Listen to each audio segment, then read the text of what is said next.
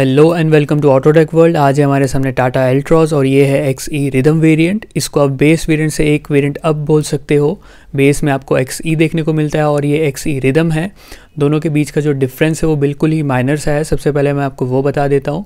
तो इसमें एक्स्ट्रा आपको मिल रहा है एक music system with four speakers remote central locking और एक एक्स्ट्रा हॉर्न देखने को मिलती है आपको इसमें.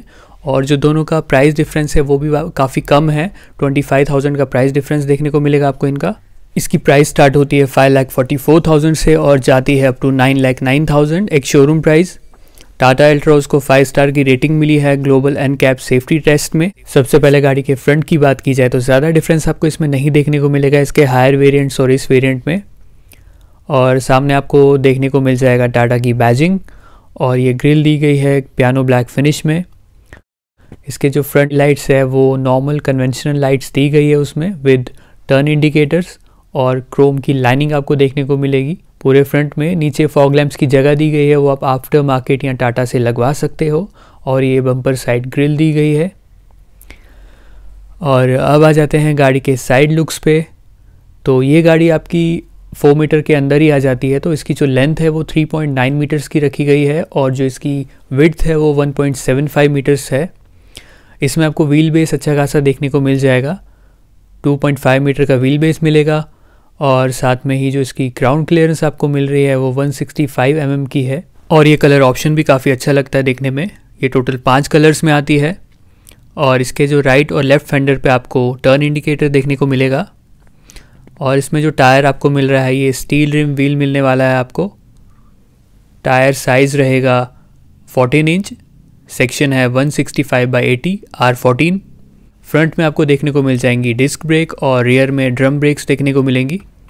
इसका जो मिनिमम टर्निंग रेडियस है वो फाइव मीटर का है। साइड्स में आपको ओ देखने को मिल जाएँगे, जो कि पियानो ब्लैक फिनिश में आ रहा है। काफ़ी अच्छी बात है बेस वेरियंट से आपको ऐसे देखने को मिलेंगे। और ये मैनुअली एडजस्टेबल रहेंगे। साइड से आप एक और चीज़ नोटिस करोगे कि ये ड्यूअल टोन में आएगा। एक स्ट्रिप पियानो ब्लैक फिनिश की मिलेगी और नीचे बॉडी कलर्ड मिलेगा। डोर हैंडल्स भी बॉडी कलर्ड आ रहे हैं इसमें।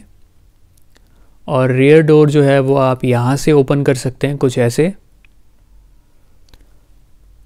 आ जाते हैं इसके बैक लुक्स पे तो ऊपर आपको हाई माउंट स्टॉप लैम्प देखने को मिलेगा विद रियर स्पॉयलर इसमें आपको रियर डिफॉगर नहीं देखने को मिलेगा। ये बैक का लुक है, कुछ ऐसी ही लग रही है दिखने में। टेल लाइट का डिज़ाइन भी काफ़ी अच्छा रखा गया है स्प्लिट लाइट्स मिल रही है आपको इसमें। इसमें आपको हेलोजन टेल लाइट्स देखने को मिलेगी। पीछे भी पियानो ब्लैक फिनिश दी गई है। टाटा की बैजिंग है और नीचे लिखा गया है अल्ट्रोज बम्पर में आपको दो रिवर्स पार्किंग सेंसर्स देखने को मिलेंगे और नीचे दो रिफ्लेक्टर्स मिल रहे हैं इसमें। अब करते हैं गाड़ी का बूट ओपन और देखते हैं कितनी स्पेस मिल रही है हमको इसमें। जैसा कि ये बेस वेरिएंट है तो इसमें आपको कोई भी पार्सल टे वगैरह नहीं देखने को मिलेगी। बैक इसका पूरा कवर्ड है और यहाँ जगह दी गई है इसका टेल गेट क्लोज करने के लिए। इसमें आपको एक डिसेंट स्पेस देखने को मिलती है। इसका बूट स्पेस आपको मिल रहा है 345 लीटर्स का। और बात करें इसके लोडिंग लिप की तो ये काफ़ी रखा गया है। अगर आप थोड़ा ज़्यादा हैवी सामान रख रहे हो तो उसको निकालने में आपको प्रॉब्लम हो सकती है। नीचे दिया गया है आपका स्पेयर व्हील और टूल किट्स इसका जो स्पेयर व्हील है, ये आ रहा है स्टील रिम में और इसका साइज़ सेम है 14 इंच का। जो आपके बाकी टायर्स का आपको देखने को मिलेगा।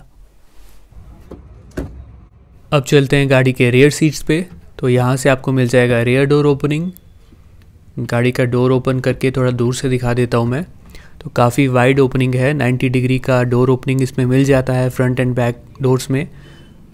कोई प्रॉब्लम नहीं होने वाली है इनकेस आप सीनियर सिटीज़न को भी इसमें बिठा रहे हो तो ईजिली इन एंड आउट हो सकता है। ड्यूल टोल में आपको इसका इंटीरियर देखने को मिल जाएगा। ये आपके ट्विटर्स दिए गए हैं, ये अनलॉक हैंडल यहाँ पे मिल रहा है, ये क्रैब हैंडल है। इसमें आपको विंडोज़ मैनुअली मिल जाएँगे। तो यहाँ से आप विंडोज़ को ऐसे मैनुअली कर सकते हो ओपन एंड क्लोज़ नीचे आपको वन लीटर बॉटल की स्पेस देखने को मिलेगी, एक स्पीकर मिल रहा है।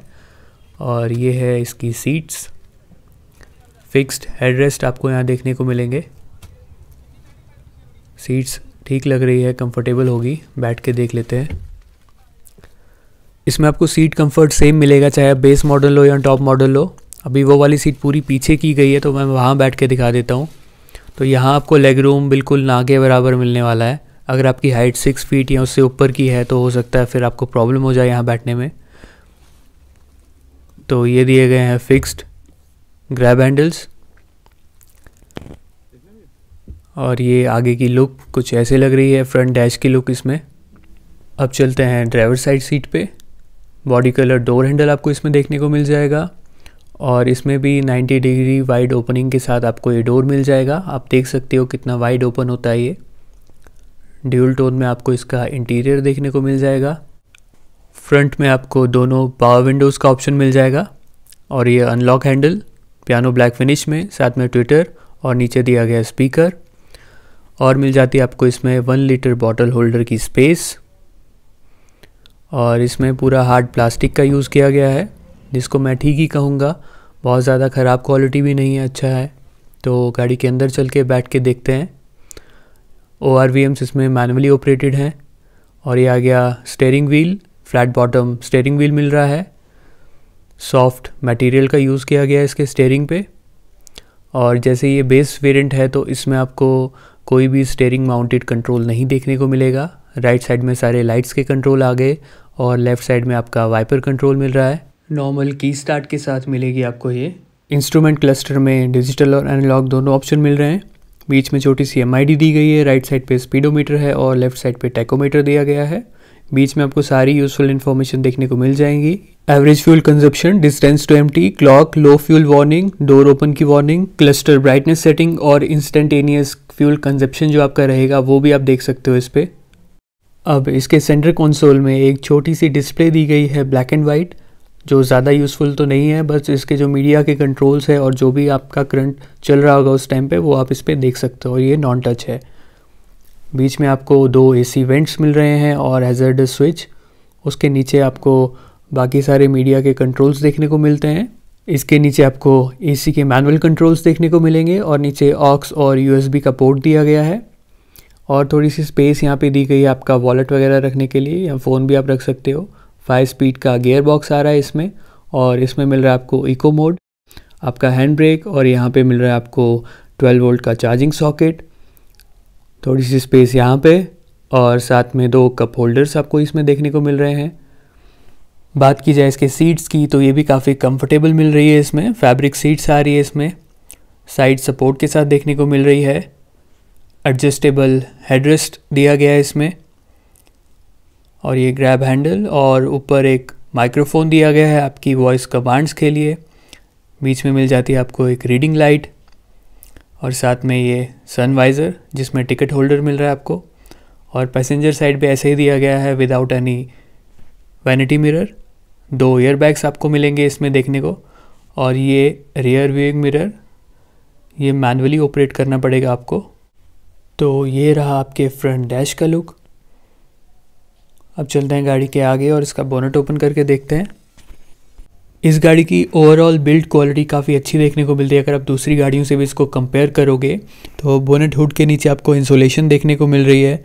और इसमें हमको मिल रहा है 1.2 सीसी का थ्री सिलेंडर इनलाइन इंजन और ये प्रोड्यूस करता है 85 bhp की पावर और 130 न्यूटन मीटर का टॉर्क इसमें आपको अंडर बॉडी प्रोटेक्शन नहीं देखने को मिलेगा, वो आप आफ्टर मार्केट लगा सकते हो। कंपनी क्लेम करती है 19 किलोमीटर पर लीटर की एवरेज और इस गाड़ी का कर्व वेट है 1405 केजी का और इसके बेस वेरिएंट से आपको A B S E B D child safety speed sensing door lock ऐसे फीचर्स आपको देखने को मिल जाएँगे। कार के रिलेटेड कोई भी क्वेश्चन हो तो आप नीचे जाके कमेंट में पूछ सकते हैं। वीडियो को लाइक एंड शेयर ज़रूर कीजिएगा। चैनल को सब्सक्राइब कर दो। जो भी लेटेस्ट अपडेट आते रहेगी, आपको मिलती जाएगी।